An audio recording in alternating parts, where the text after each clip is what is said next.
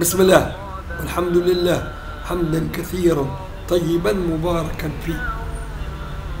وإذ استسقى موسى لقومه فقلنا اضرب بعصاك الحجر. فانفجرت منه اثنتا عشرة عينا. قد علم كل أناس مشربهم. كلوا واشربوا من رزق الله. والرزق ما قلنا مش مقتصر على الماديات. رزق الإيمان رزق الفكر السديد آه، رزق العمل آه، الصالح وهلم جرى آه، وإذ قلتم يا أيوه كلوا واشربوا من رزق الله ولا تعثوا في الأرض مفسدين. هذه ما ت- تشير على أنتم المفاسد ويقول باللغة العربية نجد ولا تعثوا العثاء هو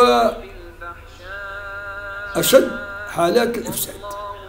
شوف ربي كيفاش معناه يعلمنا كيفاش نفهم العربية. كيفاش العربية غنية وولودة وحكمتها لا يعلم قدرها إلا مولانا الحكيم. و و و و وبعد يجي اليوم الصهاينة يحاربوا العربية لأنه وقت اللي العربية تتقلص والكرب.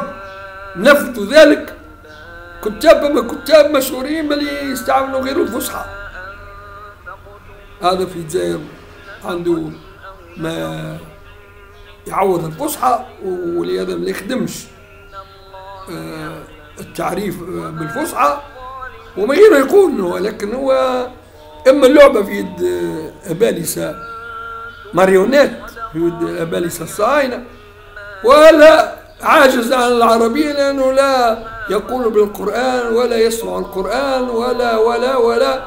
يعني يتعظ بآيات المولى سبحانه وتعالى آيات قرآنية وحتى آيات كونية وتحدث في الموضوع آه، عدة مرات. والسلام.